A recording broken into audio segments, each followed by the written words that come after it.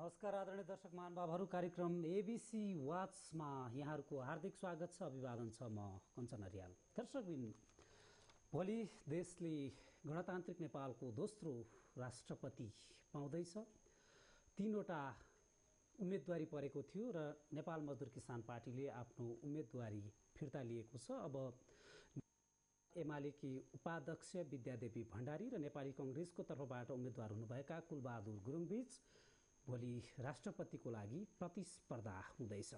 र कुनै भवितव्य भएन भने अथवा भनौँ यो रातभरिमा कुनै अग्राख पलाएन भने विद्यादेवी भण्डारी राष्ट्रपति हुने लगभग निश्चित भएको छ। कारण सत्ता गठबन्धनमा सहभागी दलहरूले एमाले नेत्री विद्यादेवी भण्डारीलाई सहयोग गर्ने वचन दिएका छन्। र सँगसँगै नेपाली कङ्ग्रेसले पनि उम्मेदवारी दिएको छ। सभामुखमा उम्मेदवारी नदिएको काङ्ग्रेसले राष्ट्रपतिमा उम्मेदवारी किन दियो र औपचारिकता निर्वाह गर्नको लागि मात्रै यो उम्मेदवारी दिएको हो अथवा लोकतान्त्रिक विधि प्रक्रिया हो हारजित बनाए सामान्य कुरा हो प्राविधिक कुरा हो त्यही भएर उम्मेदवारी दिएको हो अथवा सँगसँगै जुन दुईवटा प्रस्ताव नेकपा एमाले नेपाली कङ्ग्रेसलाई राखेको थियो र जुन भद्र सहमति भएको भनिएको थियो। त्यो सहमति नगरेकोमा आत्मआलोचना गर्दै दुई वर्षसम्म सरकार परिवर्तनको लागि कुनै पनि हामी खेल खेल्दैनौँ भन्ने प्रतिबद्धता जनाए। राष्ट्रपति हामी दिन तयार छौँ भन्ने जुन एमालेको प्रस्ताव थियो त्यो प्रस्ताव नेपाली कङ्ग्रेसले किन मानेन? यिनै सेरोफेरोमा केन्द्रित रहेर कुराकानी गर्नको लागि मैले मेरो स्टुडियोमा नेपाली कङ्ग्रेसका नेता नरहरि आचार्यलाई निम्त्याएको छु। नमस्कार स्वागत छ यहाँलाई। भोलि राष्ट्रपतिको निर्वाचन हुँदैछ। कुलबहादुर गुरुङजी यहाँहरूको उम्मेदवार। हार त निश्चित जस्तै छ। फेरि प्रतिस्पर्धामा उत्रिँदै हुनुहुन्छ किन? अब यसको चाहिँ के छ भनेदेखि एउटा त अब यो चुनाव हुँदैछ। त्यसमा तपाईँले भने जस्तो सम्भावना सत्ताधारी गठबन्धनको उम्मेदवारले जित्ने सम्भावना छ भनेर जुन भन्नुभयो त्यो केही मात्रामा सत्य नै कुरा होला। तर पनि के छ भनेदेखि कुनै पनि कुराको निर्वाचनमा उम्मेदवारी दिने भन्ने पछाडि एउटा प्रयोजन त जित्नकै लागि हुन्छ। त्यो जित्ने आशा काङ्ग्रेसले कति पनि राखेका छैन भन्ने पनि होइन। तर त्यो मात्रै पनि हुँदैन त्यसका केही मूल्य र मान्यता हुन्छन् उम्मेदवारी दिनका लागि। एउटा त अब हामीले हिजो जुन ढङ्गको सहकार्य गरेर आयौँ संविधान निर्माण गर्ने एउटा मूल उद्देश्य राखेर अब त्यो स्थितिमा परिवर्तन आएको छ संविधान बनेको छ सबैका प्रयत्नले। र यो काम सम्पन्न भइसके पछाडि अब चाहिँ संसद हो यो र यो चाहिँ सरकार सञ्चालनको अब एउटा नयाँ परिप्रेक्ष्य अब प्रारम्भ भएको छ। त यो परिस्थितिमा चाहिँ संसदका सबै ठुला दलहरू सरकारमै रहने कुरा स्वाभाविक देखिँदैन पनि। र अहिलेको सन्दर्भ यदि काङ्ग्रेस पनि सरकारमै जाने हो भने एकदेखि पाँच नम्बरसम्मका संसदका ठुला दलहरू सरकारमै हुन्छन्। तर यदि तपाईँहरू सरकारमा जानुभएको भए सायद राम्रो नेपाल बाहिर बस्थ्यो होला। यहाँले भन्नुभएको थियो नि आचार्यजी हामीले जित्ने नै चाहिँ हार्ने नै भन्ने कन्फर्म चाहिँ होइन भन्ने खालको कुरा गर्नुभएको थियो। जित्ने सम्भावना पनि छ। होइन जित्ने सम्भावना किन छ भनेदेखि राष्ट्रपतिकै निर्वाचनलाई विगतमा हामीले दृष्टान्त लियौँ भनेदेखि जित्ने सम्भावना पनि छ। रातारात त्यतिखेर त परिवर्तन भएर त्यसैले गर्दाखेरि अब यो निर्वाचन हो निर्वाचन भलै अब यसमा सीमित मतदाता छन्। त्यसैले यसको आकलन पहिला नै गर्न सकिन्छ भन्ने कुरा स्वाभाविक हो। असीमित मतदाता छैनन् यसमा होइन? तर पनि के छ भनेदेखि निर्वाचनै हो यो। र यो निर्वाचन भएको हुनाले किनभने प्रधानमन्त्रीको चाहिँ प्रस्ताव हो त्यो संसदभित्र हुने प्रस्ताव जसमा हामी खुला रूपले आफ्नो धारणा राख्छौँ।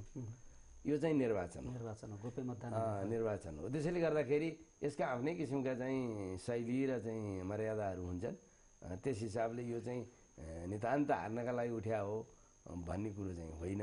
तर हार्दा पनि वा जित्दा पनि यो दुवै सन्दर्भमा यसको राजनीतिक महत्त्व छ भन्ने सायद विश्लेषण छ काङ्ग्रेसको। हजुर।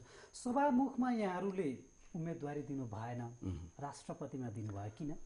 त्यसको एउटै कारण छ। सभामुखमा हामीले लामो समयको अभ्यासमा ज्यादै थोरै मलाई लाग्छ एकाध पटक मात्रै प्रतिस्पर्धा भएको छ।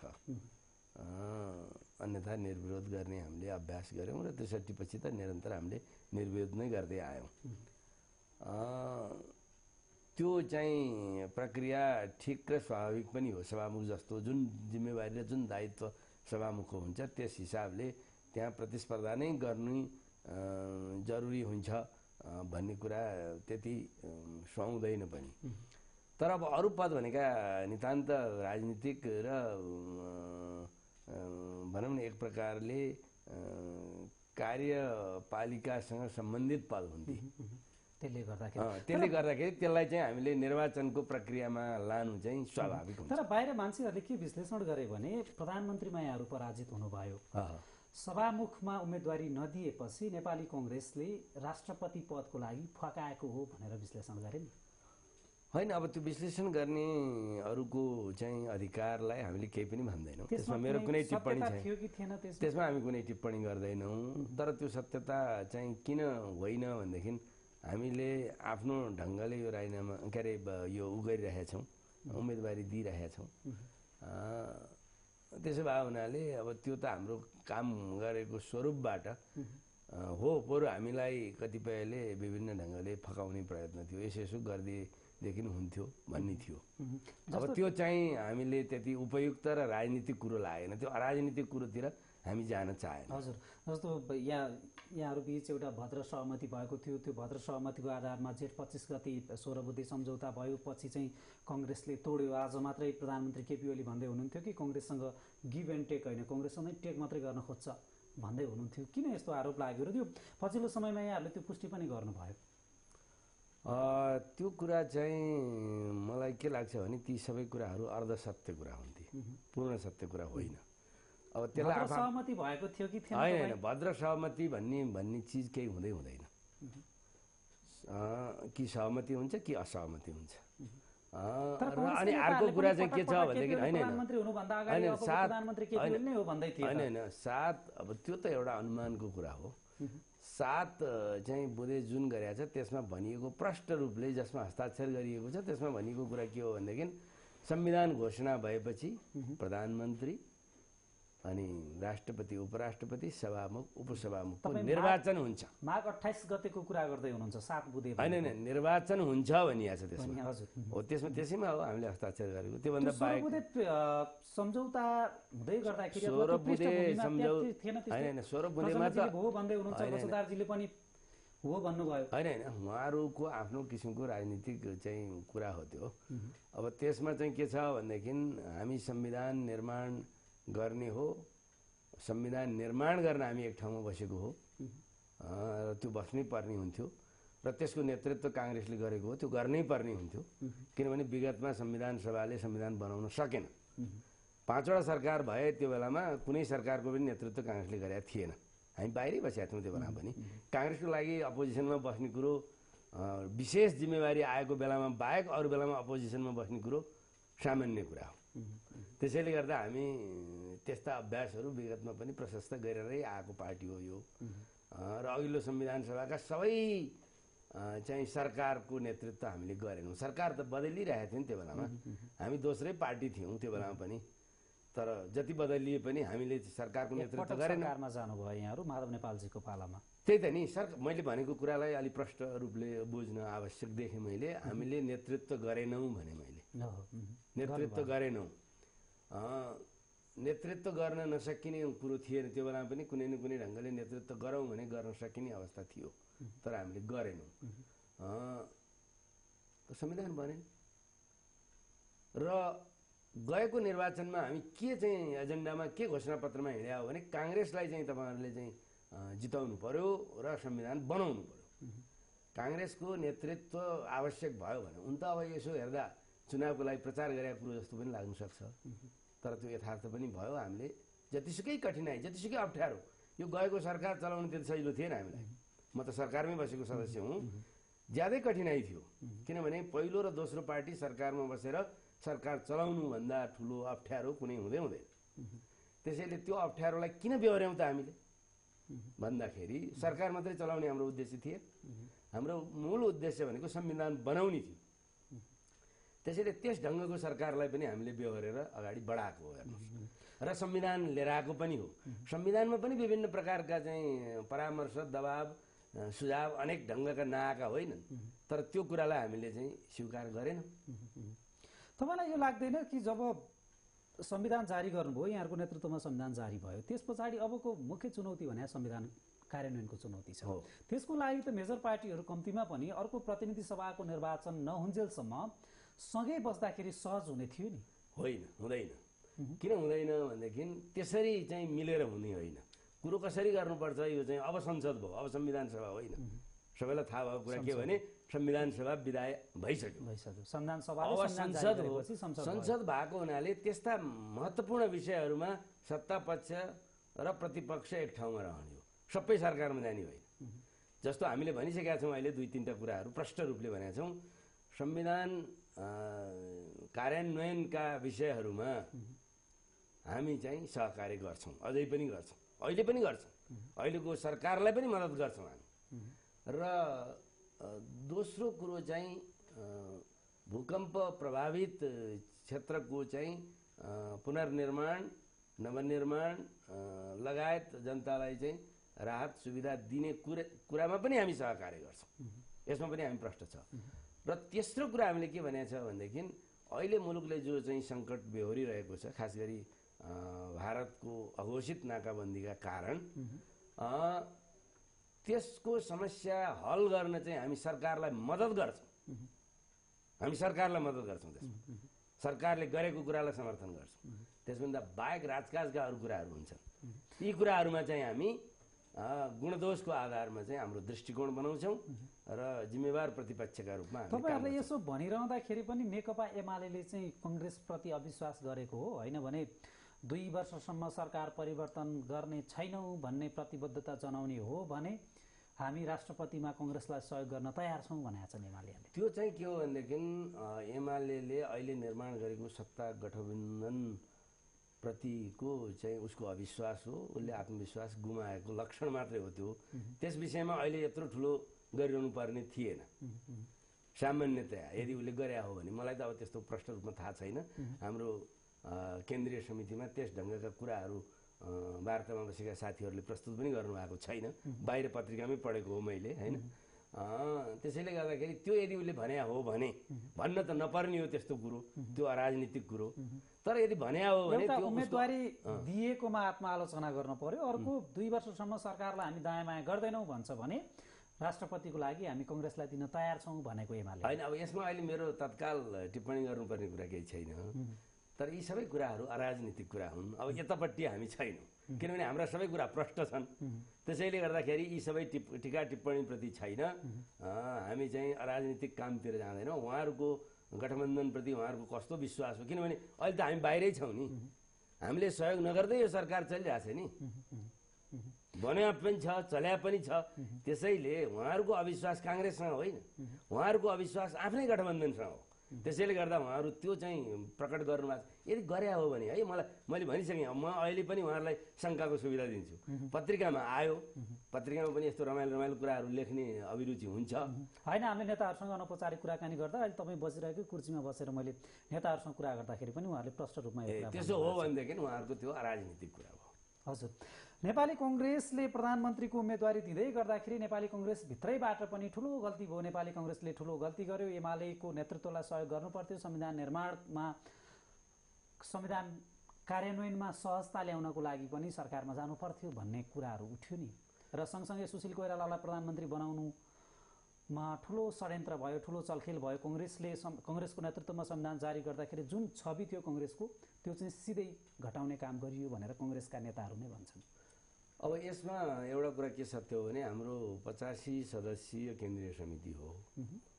त्यसमा यो विषयमा तपाईँले भनेका विभिन्न विचारहरू आएका हुन्। तर करिब चौन्न पचपन्नजना सदस्यहरूले चाहिँ अब म सबै बैठकमा उपस्थित छु। सदस्यहरूले चाहिँ काङ्ग्रेसकै नेतृत्वमा फेरि पनि सरकार बन्नुपर्छ। काङ्ग्रेसले सरकारको नेतृत्व छोड्नु हुँदैन भन्ने धारणा राखे। बिसपच्चिसजना सदस्यहरू बिसजना जति अरू सदस्यहरूले चाहिँ यो कुरासँग असहमति जनाएको हो। त्यसैले दुईवटा विचार छन् नभएको होइन। त्यस पछाडि अर्को एउटा विचार पनि छ। त्यो विचार चाहिँ के हो भनेदेखि ठिक छ काङ्ग्रेसले चाहिँ प्रधानमन्त्रीमा उम्मेदवारी दियोस् तर चाहिँ सभापति सुशील कोइरालाले चाहिँ अहिले यतिखेर उम्मेदवारी दिन चाहिँ आवश्यक छैन उपयुक्त छैन भन्ने विचार पनि थियो। नभएको होइन। विचार सबै थियो। तर अब काङ्ग्रेसको केन्द्रीय समितिको निर्णय चाहिँ उम्मेदवारी दिने भन्ने नै भयो। र कसले दिने भन्ने कुराहरूको निर्णय गर्ने जिम्मेवारी हामीले पदाधिकारीहरूलाई दियौँ होइन? केन्द्रीय समितिले कसले दिने त उम्मेदवारी? यसैले दिनुपर्छ भन्ने होइन? सबै राजनीतिक परिस्थिति हेरेर दिनुहोस्। भन्दाखेरि जुन उम्मेदवारी भयो सभापति सुशील कोइरालाको त्यो उम्मेदवारी चाहिँ उपयुक्त थिएन भन्ने धारणा नभएको होइन। तर अब कुरो चाहिँ के हो भनेदेखि त्यो धारणाको कुरा हो काङ्ग्रेसको निर्णयको कुरा होइन त्यो। धारणाको कुरा हो विचारको कुरा हो त्यस्ता विचार थिए। कङ्ग्रेसका तिनजना नेताले निर्णय गर्दैमा कङ्ग्रेसको त्यो संस्थागत निर्णय हुन्छ। प्रधानमन्त्री सुशील कोइरालालाई फेरि एकपटक प्रधानमन्त्रीमा उम्मेदवारी बनाउने भन्ने। त्यो किन नहुने किनभने त्यो जिम्मेवारी चाहिँ केन्द्रीय समितिले दिइसकेपछि संस्थागत निर्णय नै हुन्छ। सभापतिले एक्लै गरे पनि संस्थागत निर्णय हामी तिनजनाले निर्णय गरेर फेरि केन्द्रीय समितिबाट पारित गराउँछौँ भन्दै तिनजना होइन होइन त्यस्तो केही पनि भएको छैन। अब हामी त्यहीँका सदस्य हौँ। अब मेरो नै अलिकति फरक विचार थियो। नत्र मैले आफ्नो फरक विचारको चाहिँ व्याख्या र चाहिँ प्रचारै गर्थेँ नि। मेरै फरक विचार थियो। तर फरक विचार भए पनि भएको कुरा चाहिँ के हो भने तिनजनालाई निर्णय गर्न दिइया र उनीहरूले निर्णय गर्न दिए अझ पदाधिकारीहरूलाई समेत त्यसमा सामेल भएर मद्दत गर्न भनिया हो। उनीहरू बसे छलफल गरे होइन? अनि त्यो पछाडि यो निर्णयमा पुगे उनीहरू। तर त्यो निर्णयमा पुग्दा पुग्दै पनि कतिपयलाई यो निर्णय ठिक नलागेको हुनसक्छ होइन? तर एउटा अलि रोचक कुरा नि आचार्यजी जस्तो जब संविधान जारी हुन्छ त्यस पछाडि म एक मिनटमा पनि पदमा बस्दिनँ भनेर सुशील कोइरालाजीले पटक पटक भन्नुभएको थियो। त्यो पनि सार्वजनिक कार्यक्रममा। तर फेरि उहाँले नै प्रधानमन्त्री बन्ने लालसा किन देखाउनु भयो र सँगसँगै अर्को महत्त्वपूर्ण कुरा भनेको सुशील कोइरालाले शेरबहादुरजी र रामचन्द्रजीलाई तपाईँहरू दुईजना मिलेर आउनुहोस् मलाई केही समस्या छैन भनेर त्यही दिन राति जब यहाँहरूलाई केन्द्रीय समितिले पदाधिकारीलाई म्यान्डेट दिनुभएको थियो त्यसपछि फेरि भोलिपल्ट बिहान हुँदाखेरि सुशील कोइराला आफैले रुचि देखाउनु भयो भन्ने कुरा पनि आयो। गलत। यी सबै कुरा गलत हो। कुरो चाहिँ यथार्थ के हो भनेदेखि उहाँले संसदमा सबैलाई धन्यवाद दिएर विधावादी भएर राष्ट्रपतिजी कहाँ गएर अब अर्को नयाँ सरकार बनाउनलाई मार्ग प्रशस्त गर्नुभएकै हो। त्यसमा अनि राजीनामा पनि दिनुभयो उहाँले तर किनभने राजीनामा भन्ने यो संविधानमा कस्तो समस्या देखियो भनेदेखि केही कानुनी कुराहरू हुन्। राजनीतिक रूपले राजीनामै शब्द राख्नु पर्थ्यो। भन्ने धारणा त्यहाँ थिए थिएन भन्ने कुरा होइन। अब मलाई पनि राजीनामै शब्द राख्दा नै उपयुक्त हुन्छ भन्ने पनि लागेको हो। मैले भने पनि हो। तर कुरो के छ भने संविधानमा अर्को सरकार नबनिन्जेल यही सरकार निरन्तर रहनेछ भनेर संविधानको सङ्क्रमण कालमा लेखिएको कारणले गर्दा अरू बेलाको जस्तो लेखिएन क्या जस्तो राजीनामा दिएपछि पनि चलाउँदै गर काम चलाउ सरकार भन्ने एउटा कुरा भयो। अर्को सरकार नबनिन्जेल त्यसैले शपथ ग्रहण गरेपछि मात्रै हाम्रो सरकार समाप्त भयो। पछि फेरि राजीनामा दिनुभयो होइन त्यो त उहाँ आफू उम्मेदवार हुने सन्दर्भमा दिनुभयो। उम्मेदवार हुने सन्दर्भमा दिनुभयो। उम्मेदवार हुने परिस्थिति नआइन्जेल उहाँले राजीनामा दिनुभयो म तपाईँलाई प्रश्न सोध्दै थिएँ केन्द्रीय समितिमा जुन रामचन्द्रजी र शेरबहादुरजीलाई तपाईँहरू मिलेर आउनुहोस् भन्नुभएको तत्कालीन प्रधानमन्त्री सुशील कोइरालाले भोलिपल्ट फेरि आफै उम्मेदवारी दिनुभयो भनेर कङ्ग्रेसका केन्द्रीय सदस्यहरूले नै भन्छ होइन होइन। त्यो कसले भन्यो कसरी भन्यो त्यो कुरा चाहिँ त्यो सही कुरा होइन। कुरो चाहिँ के हो भनेदेखि केन्द्रीय समितिमा त्यस्तो कुरा केही भएकै होइन। उहाँहरूलाई हामीले जिम्मा दियौँ। उहाँहरूको सल्लाह कस्तो भयो के भयो उहाँहरूको बिचमा भयो होइन? उहाँहरूका बिचमा भयो। अब त्यसरी उहाँहरूले केही कुराहरू भन्नुभयो पनि होला केही सल्लाह पनि गर्नु होला तर केन्द्रीय समितिमा बैठकमा उहाँले त्यो भनेको चाहिँ कतै कुनै कुनै बैठकमा पनि हामीले सुनेनौँ। हजुर। आचार्यजी तपाईँ गिरिजाप्रसाद कोइरालासँग पनि सभापति पदको लागि उम्मेद्वार लडेको मान्छे। र पार्टीमा संस्थागत निर्णय गर्नुपर्छ भनेर तपाईँले पटक पटक आवाज उठाउँदै आउनु भएको छ। प्रष्ट रूपमा भनिदिनुहोस् न। सुशील कोइराला प्रधानमन्त्रीको लागि फेरि उहाँले जुन दाबी प्रस्तुत गर्नुभयो नि त्यसमा बाह्य शक्तिको चलखेल थियो कि थिएन? होइन अब यो के छ भनेदेखि बाह्य शक्तिको चलखेलको कुनै सम्भावना अब उहाँ नै उठ्नुपर्छ भन्ने कुरामा थियो भन्ने मलाई लाग्दैन। मलाई लाग्दैन। मैले पनि तपाईँले भने जस्तो यो विषयलाई गम्भीरतापूर्वक सबै पक्षबाट केलाएर हेरेरै भने हो। तर एउटा चाहिँ राजनीतिक कुरोहरू चाहिँ के थियो होला सायद मलाई के लाग्छ भनेदेखि काङ्ग्रेसले उम्मेदवार दिनुपर्छ भन्ने काङ्ग्रेसको केन्द्रीय समितिको एक प्रकारको सर्वसम्मत त भन्नु मिल्दैन। तर अधिकांश अत्याधिक सदस्यहरूको मत चाहिँ त्यो आएको थियो। अब तर केही मतहरू थिए कि अहिले सरकारको दाबी पनि गर्नु हुँदैन भन्ने पनि थियो। र केही मत पछि देखिए के भनेदेखि कमसे कम चाहिँ सुशील कोइराला आफै उठ्नु हुँदैन थियो भन्ने चाहिँ थियो। यी सबै कुराहरू थिए। तर हुँदा हुँदै पनि एउटा सङ्कट चाहिँ मुलुकको अगाडि थियो हेर्नुहोस्। एउटा तथ्य के हो भनेदेखि सुशील कोइराला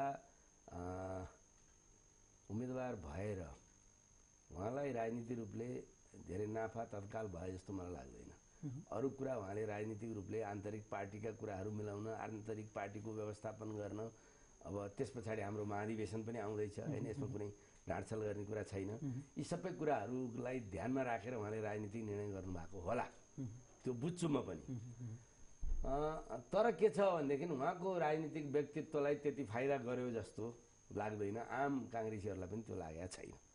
होइन?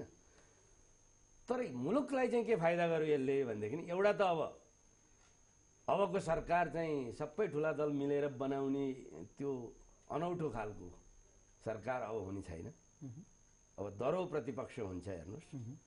तर त्यो रचनात्मक हुन्छ र त्यो सकारात्मक ढङ्गले अगाडि बढ्छ। केही कुरामा हामीले विषयहरू छुट्याएका छौँ। जुन विषयमा हाम्रो समर्थन र सहयोग रहन्छ सहकार्य पनि रहन्छ। कतिपय कुराहरूमा हामी चाहिँ निष्पक्ष ढङ्गले विश्लेषण गरेर वस्तुपरक आचार्य मलाई। अर्को कुरा नि भनिदिनुहोस् न नेपाली कङ्ग्रेसले प्रधानमन्त्रीमा उम्मेदवारी दिए पछाडि। नेपाली कङ्ग्रेस जुन लोकप्रियता थियो नि नेपाली कङ्ग्रेसको सात सालको नेतृत्व कङ्ग्रेसले गर्यो सत्तालिसको बैसठी त्रिसठीको र संविधान निर्माण गर्दै गर्दा पनि अथवा जारी गर्दै गर्दा पनि कङ्ग्रेसको नेतृत्वमा सरकार थियो यसले कङ्ग्रेसको छविलाई माथितिर पुर्यायो अथवा तल होइन अब यो चाहिँ तत्काल उठेको एउटा क्षणिक प्रतिक्रिया हो यो अहिलेको चाहिँ विषय भनेको। किनभने काङ्ग्रेस छ अब सत्तरी वर्षदेखि निरन्तर क्रियाशील छ अरू। एकै ढङ्गले क्रियाशील छ हेर्नुहोस्। एकपटक यो अस्ति फुट्यो। फुटेर पनि एउटा पनि चुनाव चाहिँ फुटेर यसले बेहोरेन तुरुन्त फेरि एक ठाउँमा आइहाल्यो। त्यसैले गर्दाखेरि यस्ता उतार चढाव काङ्ग्रेसको जीवनमा प्रशस्त आछन् अब हामीहरूलाई के लाग्छ भनेदेखि अहिले आएकै यही बहत्तर साल असोजमा आएको नै उतार चढाव नै सबैभन्दा ठुलो काङ्ग्रेसको सबैभन्दा ठुलो सङ्कट यही हो भने जस्तो कतिपयलाई लागे पनि हुनसक्छ। म त्यो कुरा मान्दिनँ। योभन्दा ठुल्ठुला सङ्कटहरू योभन्दा ठुल्ठुला अप्ठ्याराहरू योभन्दा ठुला सबै सबै राज्य सबै मिलेर काङ्ग्रेसलाई लखेट्ने प्रक्रियाहरू यावत कुराहरू सधैँ भइरहेकै हुन्। त्यसैले गर्दा तर त्यो हुँदाहुँदै पनि काङ्ग्रेसले निरन्तर आफ्नो राजनीतिक सान्दर्भिकता र औचित्य स्थापित गर्दै चुकेको हो जस्तो लाग्दैन कङ्ग्रेस तपाईँलाई? होइन अब चुक्न चुक्ने कुराहरू चाहिँ समय समयमा काङ्ग्रेसले यो नगरेर यो गरे भए हुन्थ्यो यो गरे भए हुन्थ्यो भन्ने कुराहरू मैले भने नि यो पटक मात्रै होइन पहिला पहिला पनि आइरहेको छ। यो कुराको पनि एउटा मात्रै पाटो छैन। मैले अघि भन्दै थिएँ मुलुकको लागि यसले फाइदा गर्यो। जसले संविधान सभा छोडेर गए जसले संसदबाटै अब हामी आउँदैनौँ भनेर राजीनामा दिएर हिँडे त्यस्ता दलहरू प्रधानमन्त्रीको निर्वाचनमा सामेल भए। सायद काङ्ग्रेसको उम्मेदवारी नभएको भए अथवा सुशील कोइरालाकै उम्मेदवारी नभएको भए ती दल आउने कुरा हुन्थेन। र सँगसँगै ती दलहरू आएर झन् कोइरालालाई बदनाम गर्ने काम पनि होइन होइन। त्यो त के भनेदेखि एउटा राजनीतिक चाहिँ टिका टिप्पणीका कुरा हुन् प्रतिस्पर्धात्मक राजनीतिमा यस्ता टिका टिप्पणी भइ नै रहन्छन्। र त्यसको ती पाटोहरू पनि होला। तर जो संविधान सभाभन्दा बाहिर गएको थिए संविधान सभामा हामी बस्दै बस्दैनौँ भनेको थिए यो नयाँ जुन संविधान जारी भयो त्यसको कुनै प्रक्रियामा सामेल हुन्नौँ भनेको थिए ती सबै आएर गरिसकेपछि संविधान त अब स्थापित भयो हेर्नुहोस्। हामीले एकानब्बे प्रतिशत भनिरहनु परेन अब। र त्यही अब अब के भन्नु पर्यो भने यो संविधानको विकास हुन्छ।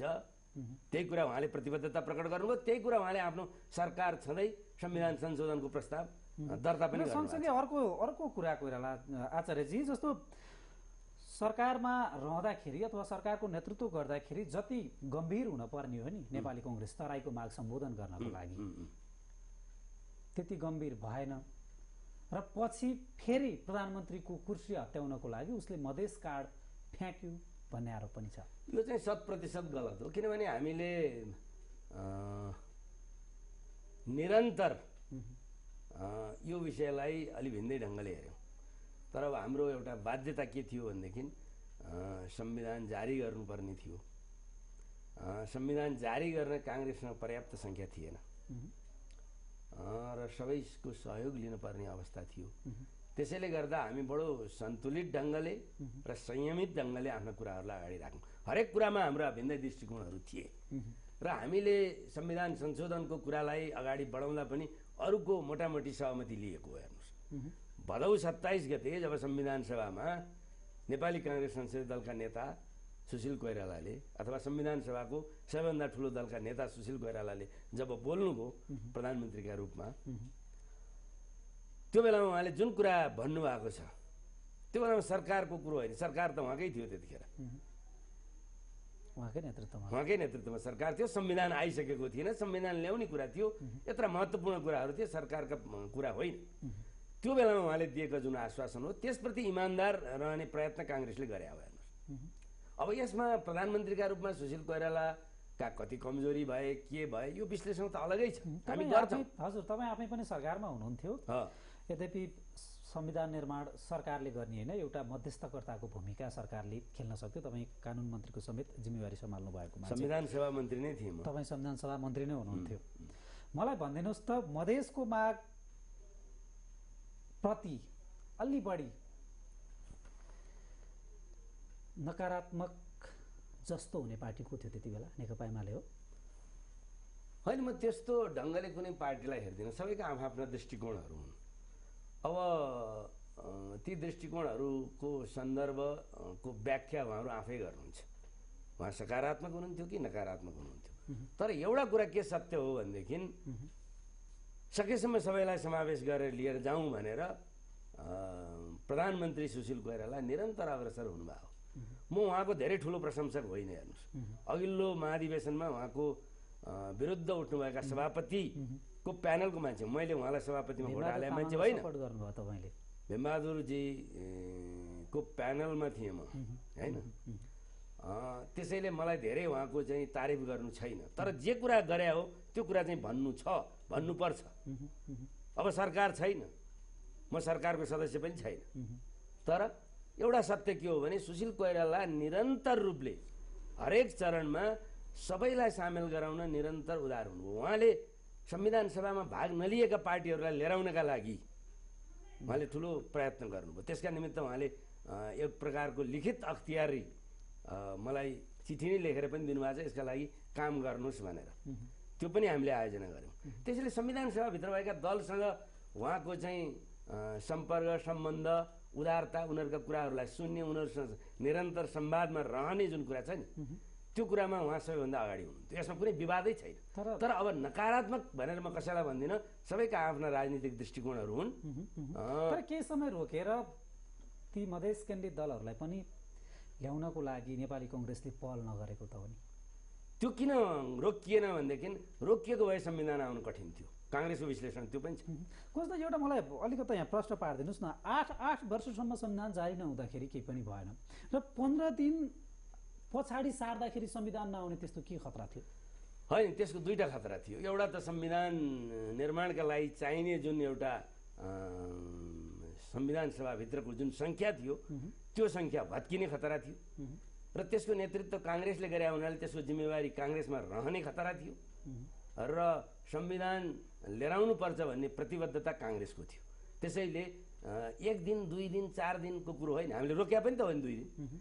तर कुरो के हो भनेदेखि संविधान रोक्दाखेरि यो संविधान आउन नसक्ने खतरा पनि थियो। त्यसैले यी सबै कुराको हामीले गम्भीर ढङ्गको राजनीतिक विश्लेषण गरेर त्यो अख्तियारी ल्यायो। हामीले संविधान संशोधन गर्छु पनि भन्यौँ। संविधान घोषणा हुनुभन्दा अगाडि गरे हो नि त। सत्ताइस गते भदौमा गरे हो। त्यो त त्यही हालिदिए भइहाल्थ्यो नि भन्ने कुरा थियो नि त। किन हालिएन भनेदेखि त्यसका लागि अरू पार्टीहरू तयार थिएन। त्यसैले त्यो आश्वासन दिने कुरामा चाहिँ काङ्ग्रेसले सबैलाई सहमत पनि गराएको थियो।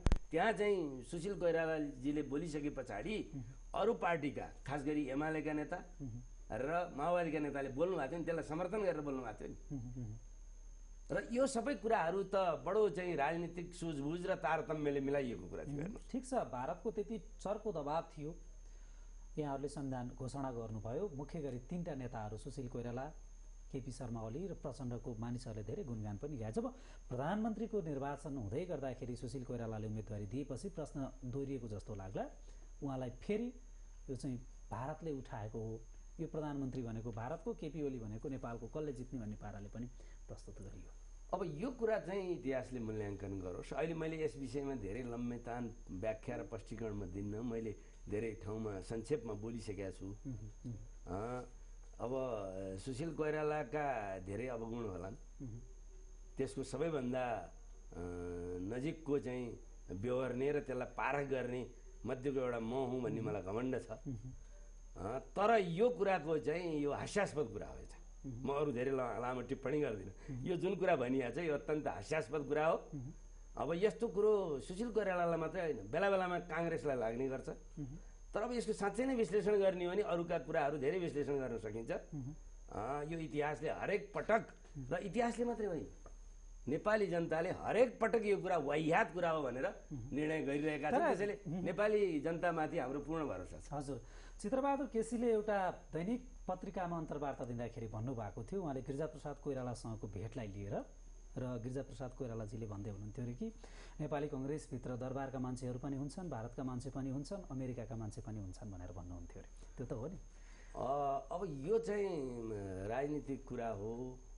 अब उहाँले कहाँ भन्नुभयो उहाँलाई कसरी भन्नुभयो र साँच्चै नै यसको राजनीति शास्त्रीलाई विश्लेषण गर्न दिने हो भने म त राजनीतिक पार्टीको सदस्य हुँ। म राजनीति शास्त्री होइन। राजनीति शास्त्रीलाई विश्लेषण गर्न दिने हो भने अमेरिकाको चाहिँ पार्टीमा पनि विभिन्न ठाउँका मान्छेहरू हुन्छन् भन्ने चलन छ। र सबै ठाउँका मान्छे हुन्छन् भन्ने चलन छ। त्यो एउटा राजनीतिक विश्लेषणको विषय मात्रै हो। त्यसैले अब नेपाल-? नेपाली कङ्ग्रेसभित्र त्यो देख्नुहुन्छ कि देख्नुहुन्न तपाईँ? होइन म म त्यसरी हेर्दै हेर्ने यो यसरी हेर्ने यसरी विश्लेषण गर्ने विषय नै होइन। संसारमा राजनीतिक पार्टीहरू का जो प्रभावशाली राजनीतिक पार्टी हुन्छ त्यसमा सबैले आफ्नो कुरा पुगोस् भनेर चाहन्छ। त्यसैले गर्दा यसलाई त्यसरी हेर्ने होइन यसलाई अलगै ढङ्गले विश्लेषण गर्ने हो। यस्तो कुरा अब जुन ढङ्गले यहाँ गरिया छ त्यो बडो हास्यास्पद बडो हलुका ढङ्गले गरिया छ। त्यसैले त्यसमा सामेल भएर समयको बर्बादीको म कुनै आवश्यकता देख्दिनँ। इतिहासले मात्रै होइन भनिहालेँ नि मैले।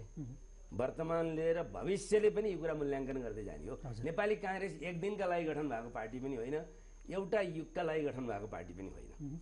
अब कार्यक्रमको लगभग अन्तिम अन्तिम चरणमा आइपुग्दाखेरि मलाई भनिदिनुहोस् न व्यवस्थापिका संसदमा नेपाली कङ्ग्रेसको भूमिका अब के हुन्छ?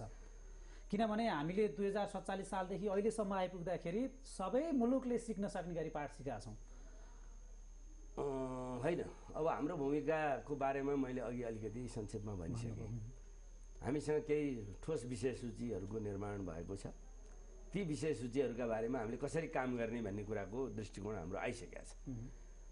संविधान कार्यान्वयन गर्ने यसलाई विकास गर्ने कुरामा हाम्रो सहकार्य हुन्छ। किनभने इगो रहन्छ कि रहँदैन? होइन। अब यो यसरी यसलाई हेर्न हुँदैन। युगो नभएको व्यक्ति हुन्छ कि पार्टी हुन्छ कि कुनै जीवित मनुष्य हुन्छ कि को हुन्छ युगो नभएको। तर कुनै सन्यासीहरूको जमात जम्मा गर्नुभयो भने पनि त्यहाँ पनि युगोहरू हुन्छ। यो त राजनीतिक पार्टी हो त्यसैले यसको युगो नै हुँदैन भने कुनै युगो नभएको पार्टी कतै नेपालमा फेला पार्नु भएको छ। एउटा सदस्य भएको पार्टीको देखिहाल्नुभयो दुईवटा सदस्य भएको पार्टीको देखिहाल्नुभयो अरू सदस्य भएका पार्टीहरूको पनि देख्नु भएको छ।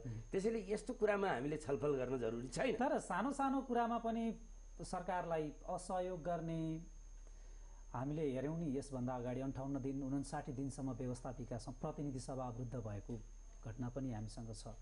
यस्तो कङ्ग्रेसले गर्छ कि गर्दैन? नेताहरू तपाईँहरू नै हो। होइन अब यसमा काङ्ग्रेस अहिले मात्रै अपोजिसनमा बस्न लागेको होइन।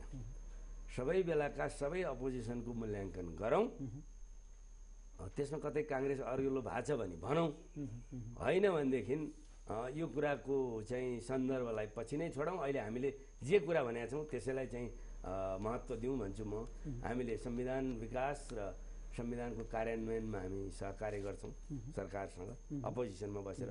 त्यो अझ बढी प्रभावकारी हुन्छ। एउटै सरकार एकै ठाउँमा बसेर गर्नुभन्दा यो प्रभावकारी जस्तो संविधान निर्माण गर्दाखेरि जति सहज हुन्थ्यो नि तपाईँहरू अपोजिटमा बस्दाखेरि त्यति सहज त कसरी हुन्छ? होइन त्यो हुन पनि हुँदैन। किनभने संविधान निर्माण भनेको एउटा कुरा हो। अब आउने कुरा भनेको अरू कुरा हो। त्यसैले त्यसरी नै सहज निर्माण त अलग कुरा भइहाल्यो नि। कार्यान्वयन अब त झन् ठुलो चुनौती होइन। कार्यान्वयन त निरन्तर भइरहन्छ नि यो अनन्तकालसम्म। सधैँ काङ्ग्रेस अथवा सधैँ चाहिँ सबै ठुला पार्टी एकै ठाउँ बसेरै सरकार चलाउनु। त्यसो भए काङ्ग्रेसले चाहिँ धेरै चाहिँ प्रयत्न गरेर सबैलाई चित्त बुझाएर लिएर आएको संसदीय संस्कृतिको चाहिँ उल्लङ्घन हुन्छ। त्यो कुरा गर्न चाहँदैन काङ्ग्रेस। सुरुमा नै संविधानको कार्यान्वयन भनेकै यही हो। अब संसदीय संस्कृतिको सुरुवात अब अलिक विशेष ढङ्गले गर्नुपर्छ। यो बिचको दस बाह्र वर्ष त त्यो सबै भत्किएको समय हो हेर्नुहोस्। एउटा अर्को विश्लेषण पनि छ। त्यसैले गर्दाखेरि अब यो भत्किएको संस्कृतिलाई हटाएर अब संसदीय संस्कृतिको प्रारम्भ गर्नुपर्छ भन्ने कुरा पनि छ। त्यसैले काङ्ग्रेस त्यो पनि गर्न चाहन्छ। तर महत्त्वपूर्ण विषयहरूमा सरकारलाई मद्दत नै गर्न चाहन्छ सहयोग गर्न चाहन्छ तर अपोजिसनमै बसेर। एकै ठाउँमा सरकारमा भाग लिएर मात्रै गरिने सहयोगको त एउटा कन्ट्राडिक्सन भएन जस्तो इगो पनि रहन्छ भन्नुहुन्छ इगो नहुने मान्छे पनि हुँदैन स्वाभाविक रूपमा नेपालका मात्र होइन कहीँ पनि पार्टीहरू पनि हुँदैनन्। फेरि हामी सहयोग दिल खोलेर गर्छौँ पनि भन्नु होइन होइन दिल खोलेर भन्दा मेरो सबै कन्डिसन आइसक्यो नि तपाईँले कस्तो किसिमको कल्पना गर्न खोजिरहनु भएको छ? अत्यन्त अव्यावहारिक अत्यन्त असम्भव कुराको कल्पना गर्न खोज्नु भएको छ? त्यो सम्भव छैन। सम्भव के छ भनेदेखि उपयुक्त कुराहरूमा सहकार्य हुन्छ। उपयुक्त कुरा भनेको संविधानको तत्काल कार्यान्वयनका लागि आवश्यक परे। थुप्रै अरू प्राविधिक कुराहरू पनि छन् संविधान कार्यान्वयन। राजनीतिक कुरा मात्रै छैन। न्यायपालिका सम्बन्धी थुप्रै विषयहरू चाहिँ अस्तव्यस्त बनेको देखिएको छ अहिले। मलाई चाहिँ होइन सीमाङ्कन त त्यो राजनीतिक कुरा हो। त्यो त अनन्तकालसम्म चलिरहन्छ त्यसलाई अहिले नै कुनै कुरो होइन। त्यसको व्यवस्था संविधानले गरिदिएकै छ त्यो चल्छ। तर न्यायपालिकाको कार्यान्वयन गर्ने साना साना कुराहरूका पनि त्यहाँ केही समस्याहरू देखिए। मेरो यो बिचमा प्रधान न्यायाधीशजीसँग पनि कुराकानीहरू भए संविधान आइसकेपछि आएको संविधानलाई पढ्दाखेरि केही समस्याहरू त्यहाँ देखिएका छन्। त्यस्ता कुराहरू अन्यत्र संस्थाहरूको पनि हुनसक्छ। ती कुराहरूलाई गर्नुपर्छ। के अरे भारतको संविधान लागू हुनुभन्दा अगाडि एकपटक संशोधन भयो। घोषणा भयो तर लागू हुन बाँकी थियो तर एकपटक संशोधन भयो। र पाँच वर्षमा छ पटक संशोधन भयो। पहिलो पाँच वर्षमा। त्यसैले कुनै पनि लोकतान्त्रिक संविधान जो विकसित गर्नुपर्छ संशोधनले नै विकसित गर्ने हो त्यसलाई। त्यस्ता कामहरू हामी हेर्छौँ केलाउँछौँ र त्यसमा सहयोग र सहकार्य हुन्छ। तर अरू थुप्रै राजकाजका कुराहरू हुन्छन्। त्यस्ता कुराहरू चाहिँ गुणदोषको आधारमा मात्रै हुन्छ। अब एकै ठाउँमा बसौँ सबै कुरालाई चाहिँ सहमत गरौँ अथवा तँ यसो गर म यसो गर्छु भन्ने ढङ्गको कुराले मात्रै अब हाम्रो संविधानको विकास र कार्यान्वयन हुँदैन यस्तो चाहिँ हुनसक्छ कि सक्दैन आचार्यजी जस्तो तपाईँहरू प्रतिपक्षमा बसेर पनि तपाईँहरू सरकारमा सहभागी नभएर पनि यसभन्दा अगाडि जसरी सत्ता सञ्चालन गर्नुभएको थियो नि यहाँहरूले त्यसरी नै यो सरकार जान सक्ने सम्भावना हुनसक्छ कि सक्दैन?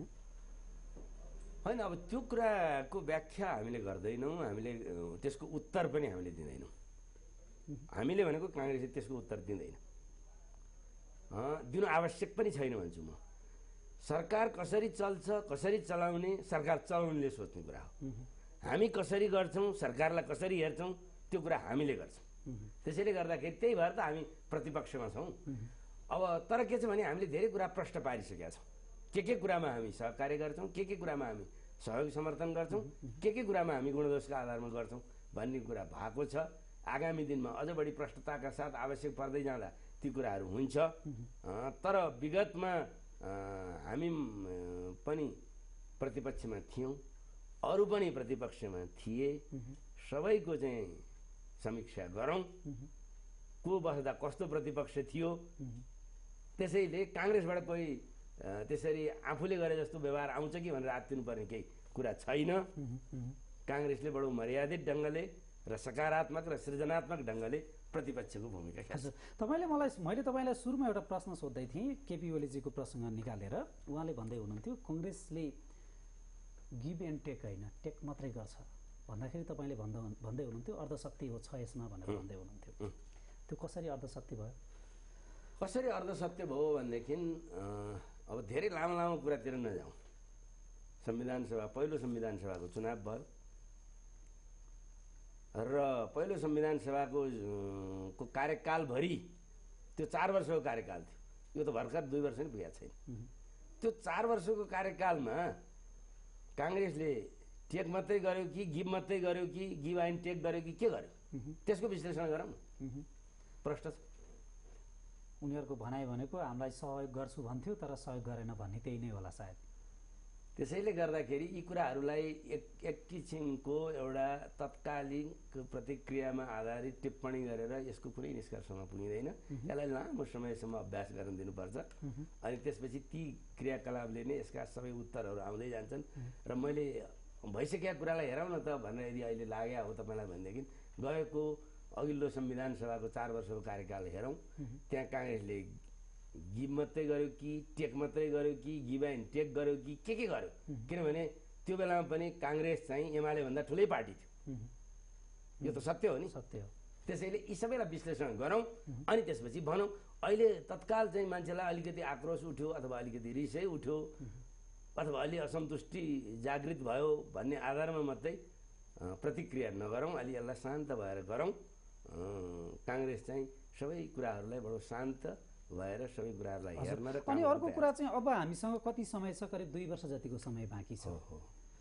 यो अवधिमा हामीले गर्नुपर्ने काम त धेरै छ। काम चाहिँ धेरै छ र कामलाई हामीले कतिपय कामहरूलाई तिन वर्षमा गर्ने पनि भनेको छौँ। अर्को चाहिँ संसद आएपछि पनि गर्नुपर्ने काम भने मतलब गर्नुपर्ने काम त किन हुन्थेन सधैँ भइ नै रहन्छ होइन? तर खास गरी अहिले तत्काल गर्नुपर्ने काम म अब मैले मन्त्री नछोड्दै कानुन मन्त्रालयले एउटा काम प्रारम्भ गरिसकेको छ। त्यसलाई अब नयाँ चाहिँ कानुन मन्त्रीले अथवा नयाँ सरकारले पनि अगाडि बढाउने भन्ने कुरा गरेको छ। त्यो खुसीको कुरा हो। के भनेदेखि कतिवटा चाहिँ कानुन अब तत्काल बनाउनुपर्छ। त्यसको लागि एउटा विज्ञहरूको एउटा समिति बनाएर त्यसको प्रारम्भिक अध्ययन प्रारम्भ गराइसकेको थिएँ मैले। अब करिब करिब चाहिँ हामीसँग तिन सय जति कानुन छन्। त्यसमध्ये दुई सय जति त हामीले तत्काल परिवर्तन गर्नुपर्ने परिमार्जन गर्नुपर्ने छ। त्यसपछि थुप्रै विषयहरूमा हामीले कानुन बनाएर गर्छौँ भनेका छौँ। त्यसमा कतिलाई एक वर्ष भनेका छौँ कतिलाई दुई वर्ष भनेका छौँ कतिलाई तिन वर्ष भनेका छौँ यसरी विभिन्न समयको निर्धारण गरेका छौँ। यी सबै काम सभाहरू गठन प्रदेश सभाको इलेक्सन हुन पर्यो यी सबै समस्याहरू दुई वर्षमा त गाह्रो देखिन्छ होइन हेर्दाखेरि। यसलाई त बडो रफ्तारमा लानुपर्छ। त्यसैले यसमा चाहिँ छिटो छिटो प्रतिक्रियात्मक कामहरू गरेर हुँदैन भन्न खोजेको कारण त्यही हो।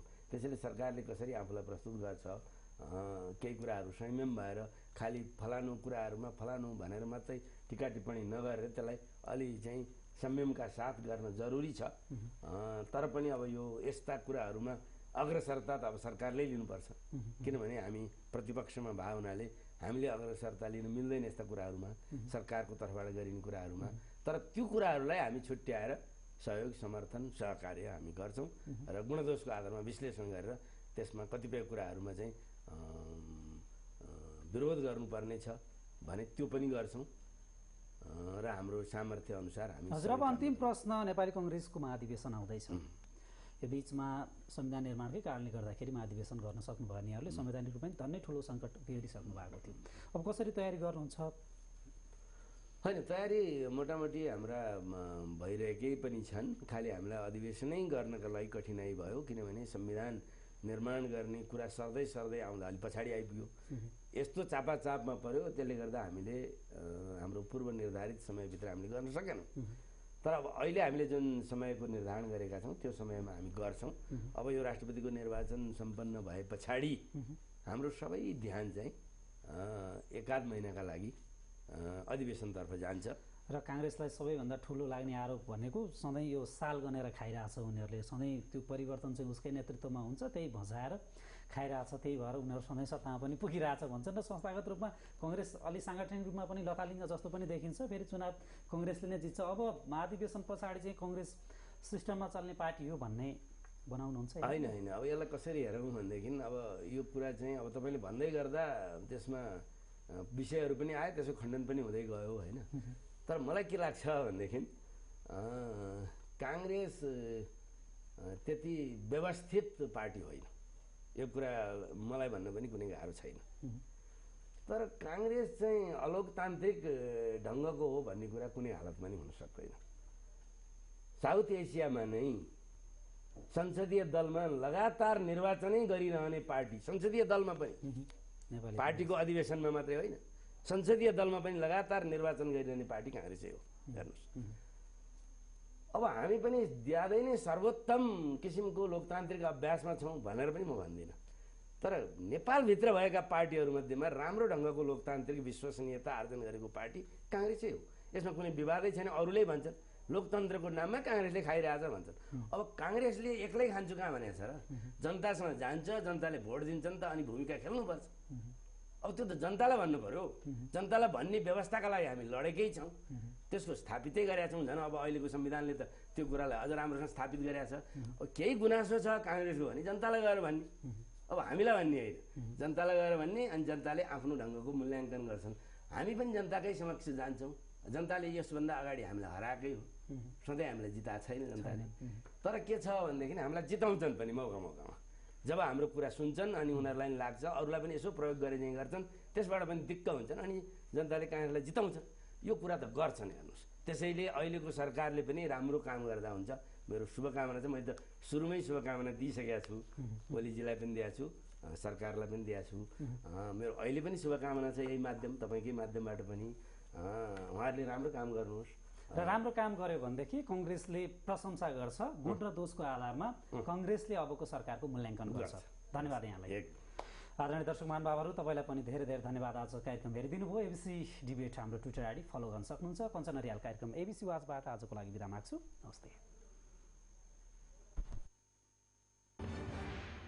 Sponsored by देशको मेरुदण्ड जगदम्बा स्टिल। मेरो देश मेरो Jagdamba cement. Why, why? World Link. One world, one link. Run suits never stop